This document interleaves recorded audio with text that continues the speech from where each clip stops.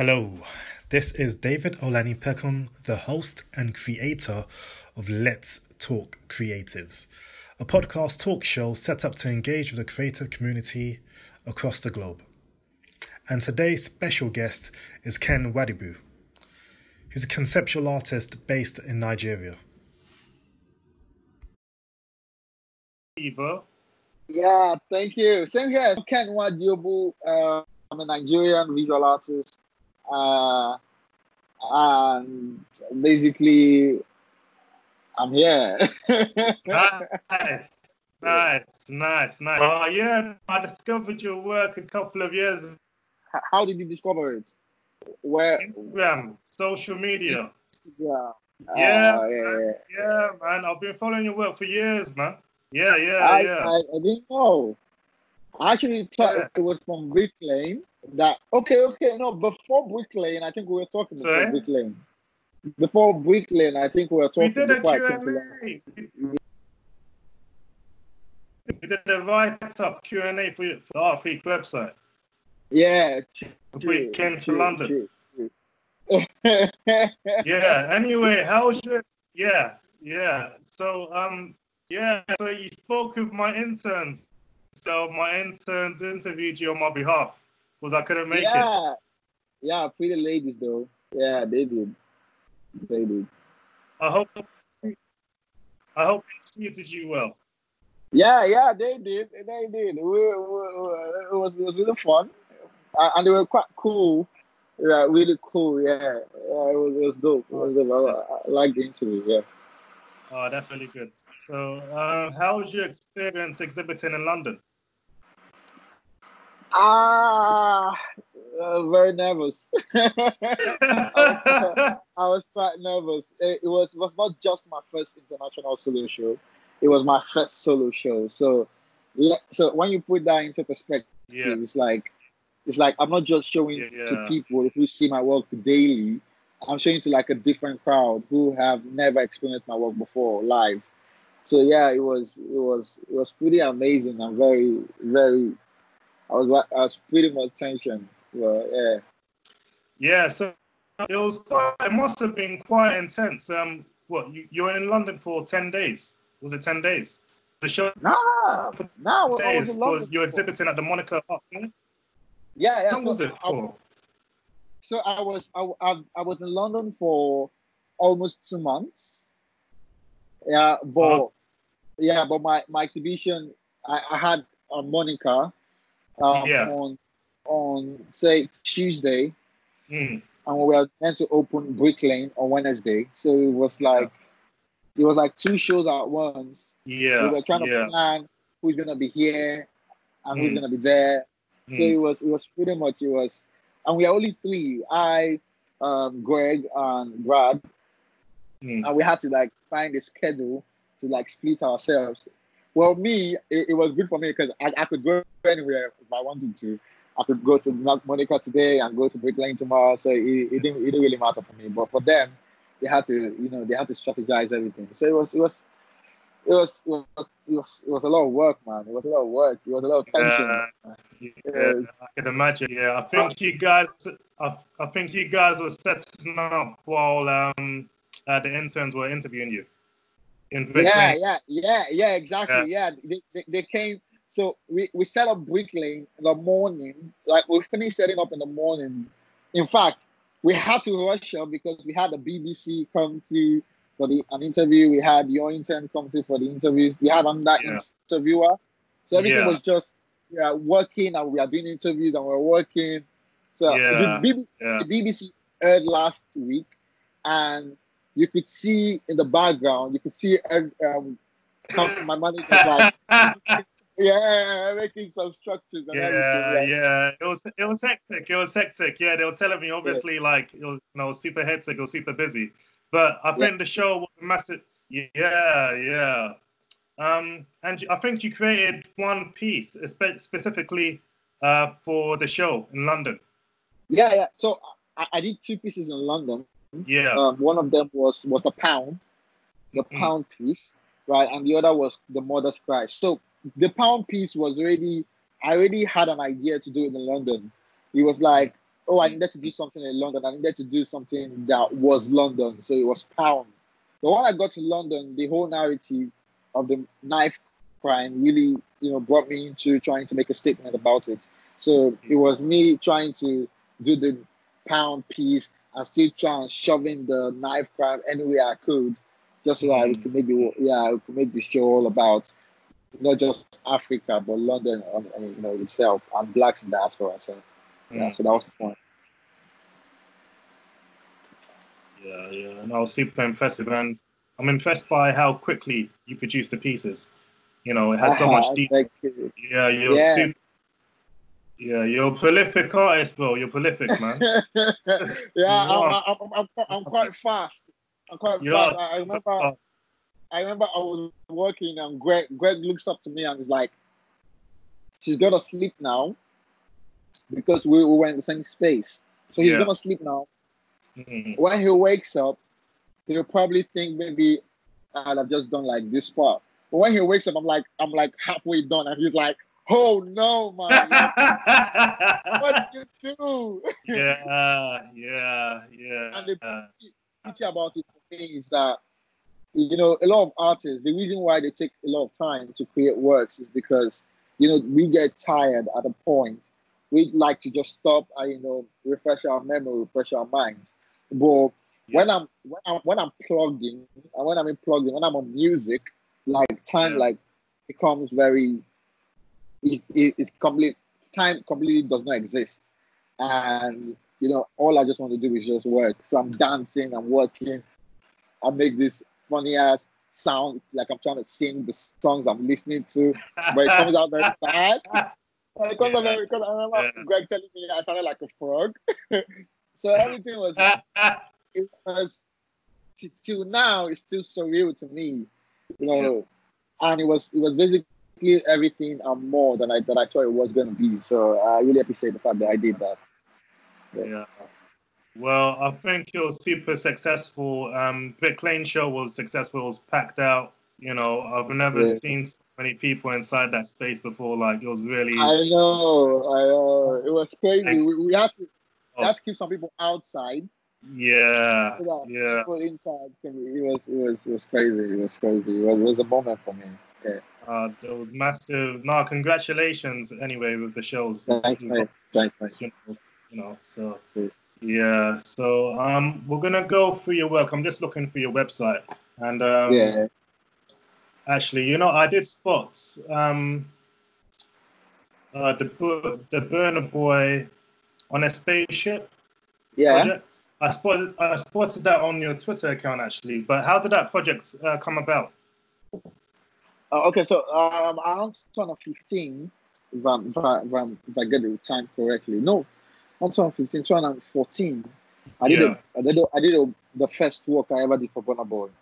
It mm. was basically him um, with his fingers on his mouth, and then you had the smoke come out from two different angles.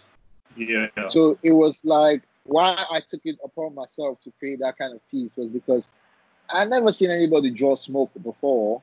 It would be actually cool to create smoke and make it so real that people are like, that that can be a drawing. And I did that and I gave and I showed him because I, I, I had links that took me to, to his house. So he saw it like he was like, oh my god, like he's never seen any drawing like this before. Mm. So I was thinking it's just like he was just like because for me it was about appreciating the people who I listened to, who sort of encouraged and inspired me to want to keep working, which is probably Burna Boy, MI, and the rest. Mm. But then I'm I'm I'm lying down one day and you know someone you know his manager sends me a message and says, check this this this music video out. So it was Soke, Soke by Burna Boy. And in the song, he had my artwork like boldly placed. Ah, uh, nice. So the artwork like was pictured from the beginning to the end nice. of the song. It was that it was that crazy. So you had the the artwork and the two people, yeah. uh, uh, you know, at the background. Yeah and then you had him sitting down on a chair, and you see like some some pictures clipped on the hanger, right? And you could see my signature, and I was I was excited. Uh, and that was not all. awesome. He released the second video, another music video, the same Yeah. artwork featured there again. Then I, I knew that, you know, something was going to come out eventually from all that. And then, you know, the manager hit me up and said, you know what, Boy is working on his album cover. And I'm like, dude, I can, I can do a sick ass album cover. Like, Yeah. I don't know why nobody's ever actually putting art into their covers. And I could do that. I could create that. Right? Mhm. There are some things you cannot do with pictures that art can do. For example, Burna Boy never had a space suit. He never had a space helmet. Yeah. But I drew on him. So that's basically the the the you know, the benefit of having an artist do an album cover. So yeah, that happened. And I, I was trying to make a statement too. So I didn't just want to give him like a regular small work. So I made it like almost human size, six feet large piece so that he can actually put it in his house. yeah. And every time he's walking upstairs or walking somewhere, he looks at it and knows, holy shit, I'm the African giant. No, great work. How long did it take you to produce the piece?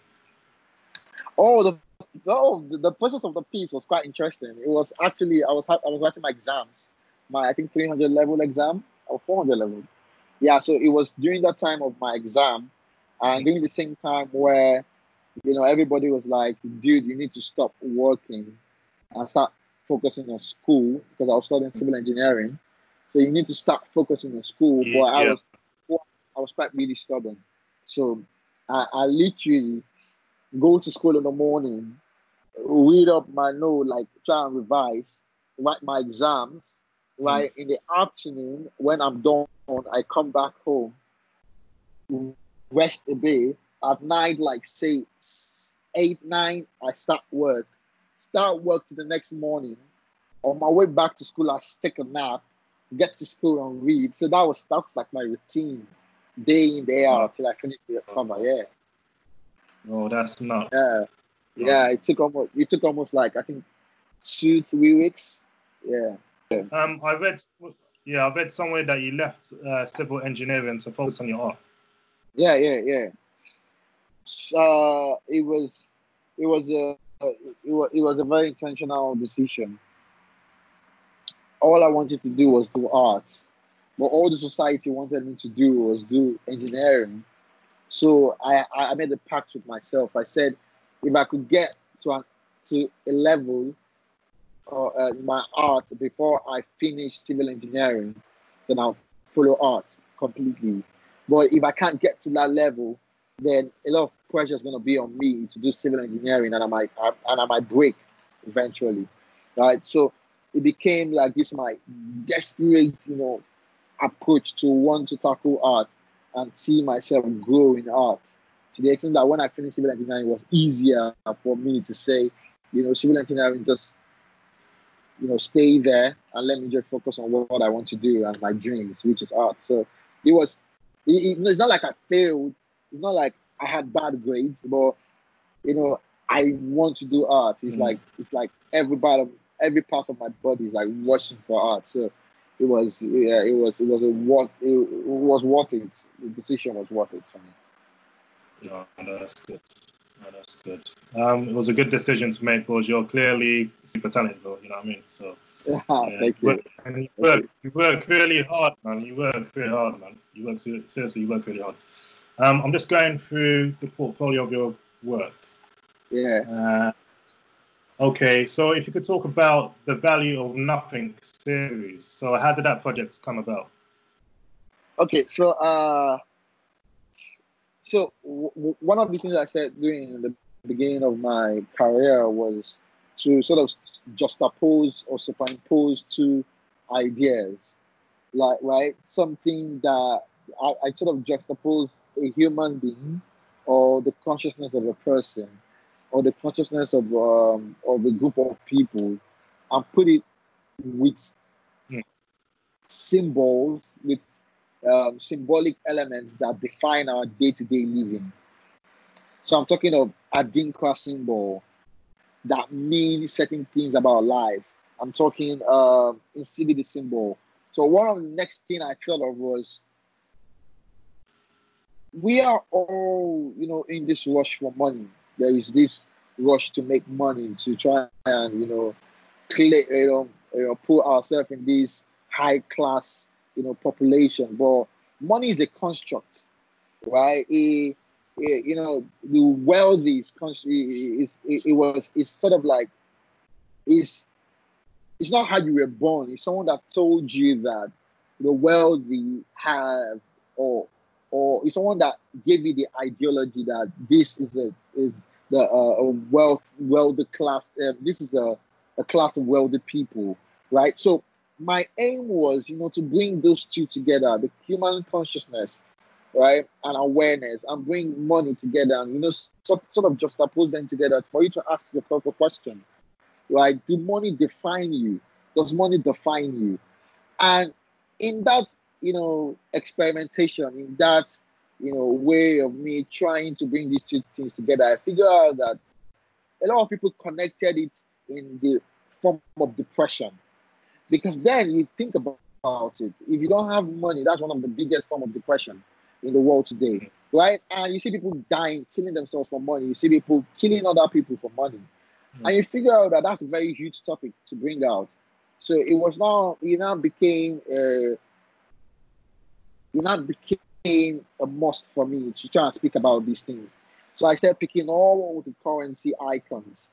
I started putting faces behind them just to ask and bring that question, you know, push that question to the public. You know, does this define you? Does this represent you? So I decided to go on my Instagram, Twitter, Facebook, and I decided to tell people, you know, send me comments on what you think self worth is. Because then when you think about it, you figure out that if your self worth is yourself and believing in yourself, then why do people get depressed with money? Right? Though, when I was reading some comments, a lot of people said money. So I put it down there. Self worth is money to me. And, you know, it also gives you that feeling that some people actually believe that their self worth is what's in their bank account, which is ridiculous, which is weird, which is crazy, which is what yeah, weird. Yeah.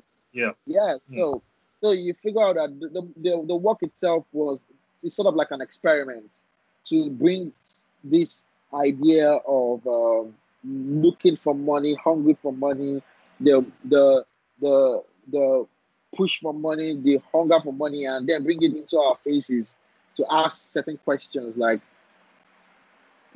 does this define you? Does this represent who you are? And if it doesn't, then why are you depressed by it? So that was that was the, the, where the whole idea came from.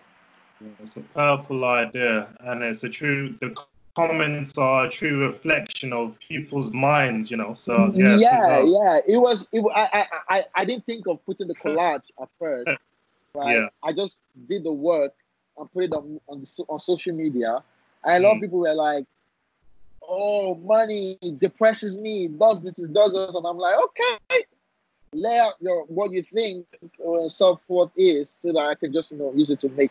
And it became interesting because a lot of people want to be part of it. A lot of people want to be part of that conversation because I, I write their names, so you actually know who actually writes these things mm-hmm. and you know what they represent and the kind of conversation mm-hmm. they're trying to start. So that conversation was bet the value of matrices.